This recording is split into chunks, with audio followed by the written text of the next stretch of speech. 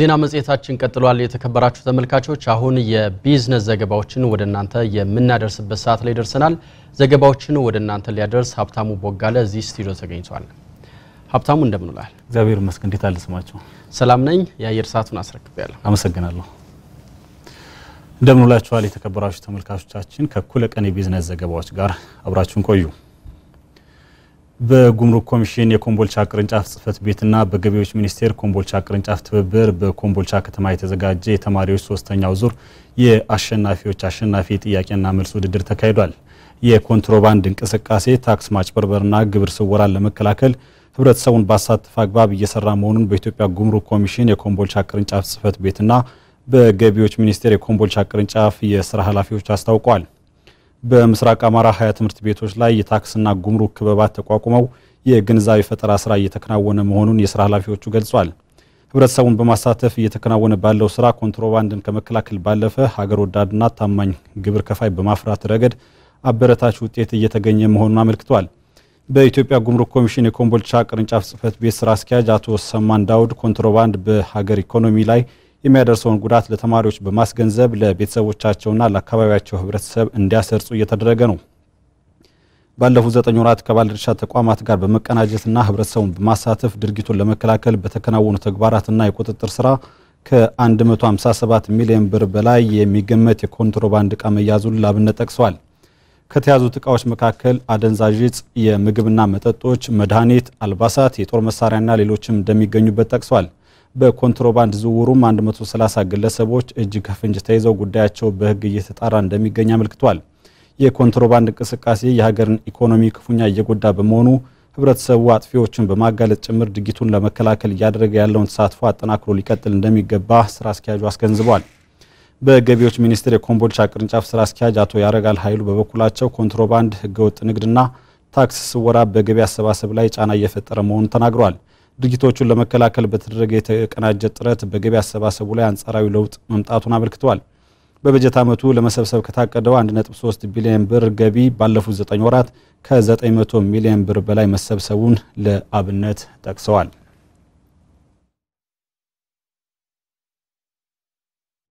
ዩኒቨርሲቲዎች ለኢንዱስትሪው ምርትና ምርታማነት ማደግ ትልቅ ሚና ላላቸው የሳይንስ ቴክኖሎጂና ፈጠራ ትምህርቶች በቂ ትኩረት ሊሰጡ እንደሚገባ የትምህርት ሚኒስትር ዴኤታ ዶክተር ሳሙኤል ክፍሌ ተናገሩ። የአዲስ አበባ ሳይንስና ቴክኖሎጂ ዩኒቨርሲቲ ሳይንስና ቴክኖሎጂ ፈጠራ ለኢንዱስትሪ በሚል መሪ ሀሳብ በሁለት ቀናት የሚቆየውን ሰባተኛው ዓመታዊ የምርምር ጉባኤ ዛሬ ማካሄድ ጀምሯል። የኢትዮጵያ ዜና አገልግሎትን ዘገባ ተመስገን ዳረጎት ያቀርበዋል። የትምህርት ሚኒስትር ዴኤታው ዶክተር ሳሙኤል ክፍሌ እንዳሉት የሳይንስ የቴክኖሎጂና የፈጠራ ምርምሮች ለኢንዱስትሪው ዘርፍ ምርትና ምርታማነት መጎልበት ሚናቸው ከፍተኛ ነው። ተለዋዋጭ በሆነ ዓለም ተወዳዳሪ ሆኖ ለመራመድ የኢንዱስትሪ ዘርፉን በሳይንስ ቴክኖሎጂና ፈጠራ መደገፍ አከራካሪ ጉዳይ እንዳልሆነ አንስተዋል። የግብርና፣ የጤና፣ የማዕድን እንዲሁም የማምረቻና ሌሎች የኢንዱስትሪ መስኮች እድገትን ለማረጋገጥ በሳይንስ በቴክኖሎጂና በፈጠራ ትምህርቶች መደገፍ እንደሚገባ አመላክተዋል። It's only this investment in education, particularly in higher education. እንደ መንግስት የከፍተኛ ትምህርት በተለይ ለከፍተኛ ትምህርት ተቋማት በተለይ በተለይ ደግሞ ሳይንስና ቴክኖሎጂ ለምርትና ምርታማነት ለምጣኔ ሀብት እድገትና ለዘላቂ ልማት ሚናቸው ወሳኝ ነው ተብሎ ይታመናል። እንደምታስታውሱት ዩኒቨርሲቲው ስራ የጀመረው በጥቂት በሚቆጠሩ ተማሪዎች ነው። ነገር ግን ለዘርፉ በተሰጠው ትኩረት ባለፉት ጥቂት ዓመታት ትልቅ ውጤት ማስመዝገብ ተችሏል።